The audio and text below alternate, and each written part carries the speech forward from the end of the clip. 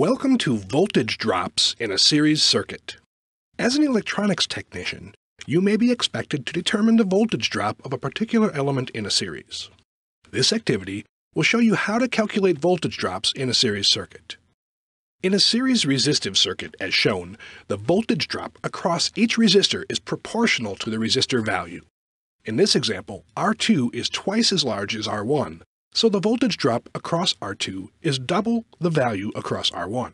A concept that can be applied to series circuits is, whatever the percentage is of an individual resistor to the total resistance, the voltage drop across it is the same percentage of the applied voltage. Let's use the series resistive circuit to show what this statement means. We'll use some fundamental math operations to prove it. First, Determine the total resistance by adding the sum of the individual resistors. Next, find the percentage of a resistor value to the total resistance.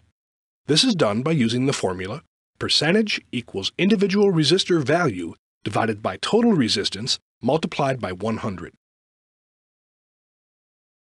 Let's take R2 as an example. Divide 30 ohms by 100 ohms to get 0.30 or 30% of total resistance. Calculate the percentage of R2 to the total resistance and then multiply that percentage by the applied voltage to obtain the voltage across R2. Now it's time for you to check your knowledge. Select the correct answers for the next questions.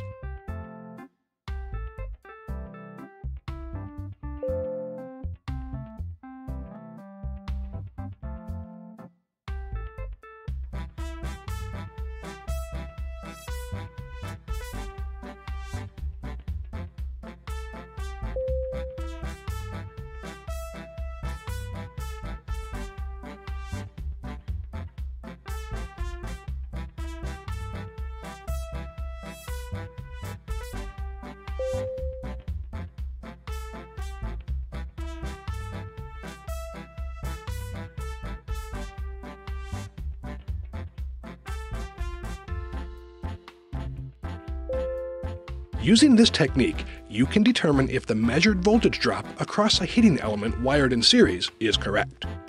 You have completed this learning activity, Voltage Drops in a Series Circuit.